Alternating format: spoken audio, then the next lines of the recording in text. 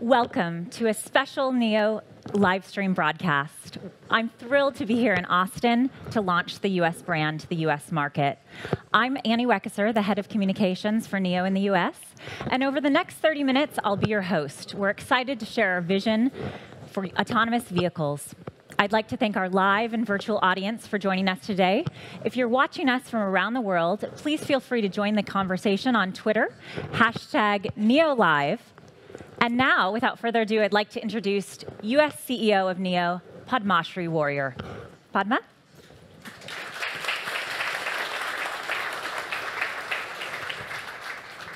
Thank you, Annie, and welcome, everyone. I'm very excited to introduce NIO to our US audience today. We are coming to you live from our amazing NIO space at the South by Southwest Interactive Festival in Austin, Texas. Um, so I joined NIO in late 2015. We used to be called NextEV. We're a global startup with talent that's distributed worldwide, starting with China, UK, Germany, and of course, the United States. In the US, my talented team is headquartered in Silicon Valley in San Jose, California. And I'm thrilled to let all of you know that we are working on autonomous vehicles that we will be launching in the US market in 2020. Although we're a very young company, we've accomplished a lot in a very short period of time. In just a few years that we've been around, we have worked on bringing the best of innovation from the automotive industry and combine that with leading edge technology from the technology industry. And doing this uniquely allowed us to break and set many world records with our products. Right behind me, you will see an amazing product, our supercar that we call the NIO EP9.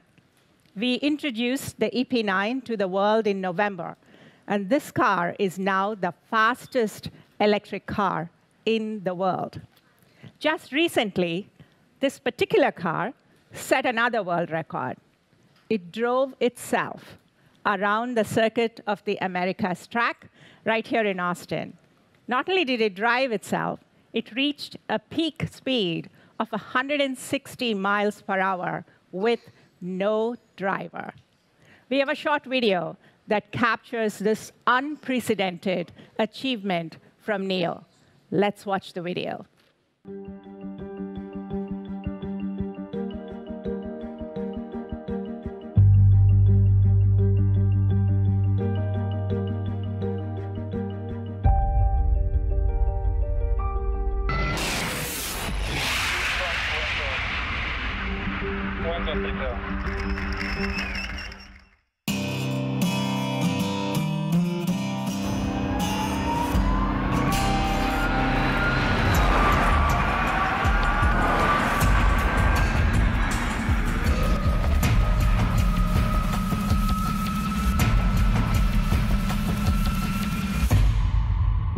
As a company started in 2014 with the idea that we wanted to build a global startup, tapping into the talent distributed around the world to change the experiences we all have with vehicles.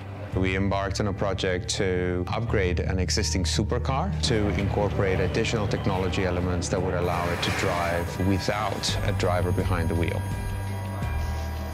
Obviously, the EP9 is an extremely sophisticated vehicle to begin with, so we were able to tap into a lot of that technology and augment it with high-precision inertia measurement units, GPS antennas, and additional compute power so that it could replay with extremely high precision a track at high speeds while I drive the reference slap, the car is learning everything that I'm doing. We try to find the track limits with GPS, and so we go out and map what we know is the inside edge of the track and the outside edge of the track, and we have those as visual cues in our data. And then what we do is we go out and drive a lap so the car can actually learn and see where the human would drive the car. And from that data, try to as best match what I'm doing with the actual car's position.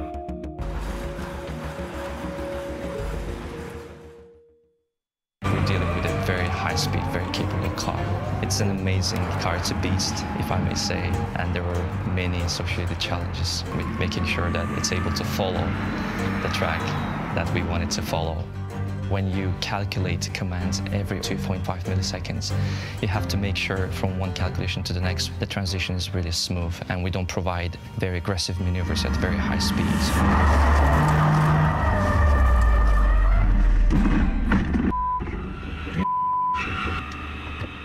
We were trying to push the limits of the vehicle and trying to push the limits of our software, and we found those limits. And as part of that, we went into an oversteer condition, and the oversteer condition just caused us to spin out. We buckled down, we pulled the car in, we found replacement parts, we had people fly in with spare parts, and we got the car out the next afternoon.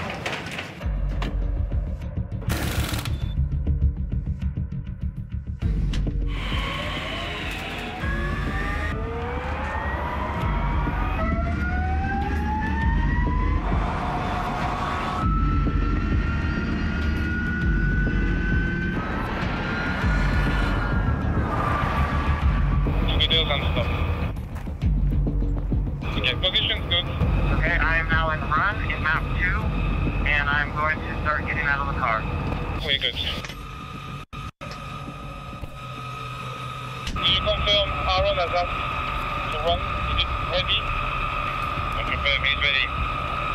Okay, so Steve, go to run now. Run, run. Here we go.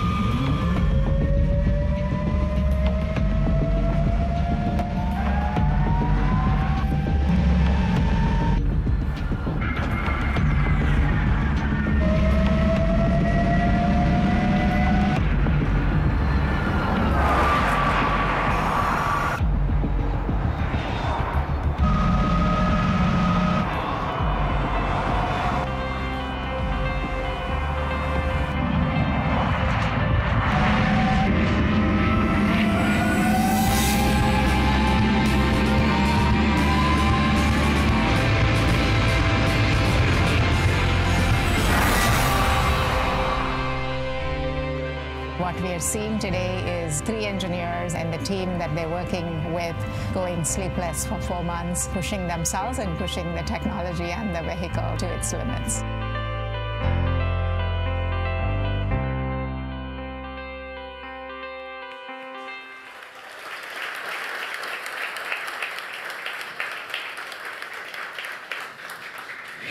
I'm sure that took your breath away. It did mine.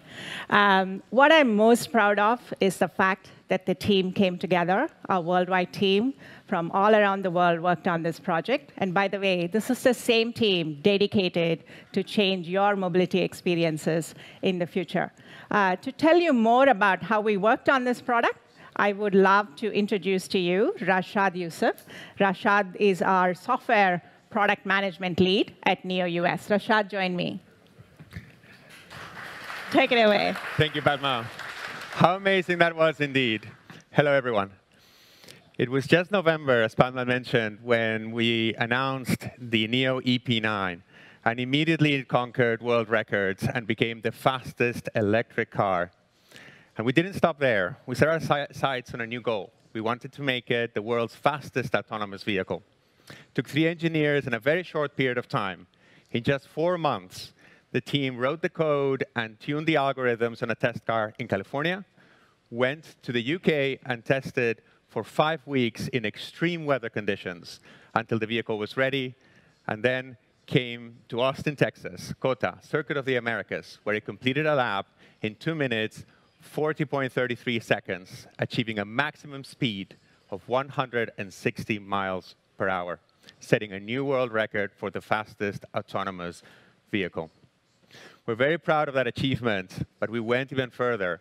One of our own engineers, Aaron Bailey, completed a lap in 2 minutes, 11.3 seconds, setting a new record for a production vehicle on that track, reaching a maximum speed of 170 miles per hour.